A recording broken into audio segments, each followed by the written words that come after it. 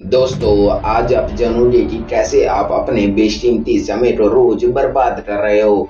ये video and तक ज़रूर देखना, क्योंकि ये जानकर कि आप अपना पूरा दिन कैसे बर्बाद करते हो, आपके रोंगटे खड़े हो जाएँगे। So let's start number seven सुबह सुबह किसी भी तरह की कोई एक्टिविटी ना करके अपने रिश्तेदारों या फ्रेंड्स को व्हाट्सएप या इंस्टाग्राम के थ्रू गुड मॉर्निंग मैसेज करके दो से तीन घंटे चैटिंग करके समय बर्बाद करना।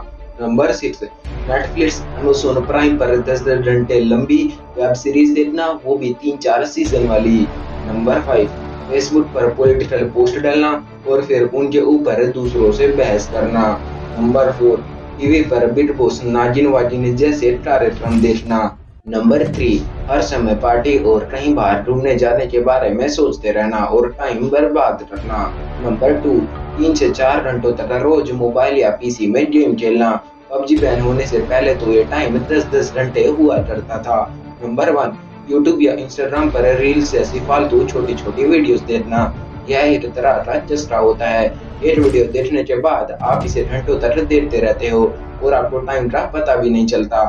अगर आप भी इन चीज़ों में अपना समय बर्बाद करते हो तो कमेंट में यस ज़रूर लिख देना और इस चैनल को सब्सक्राइब भी ज़रूर कर लेना।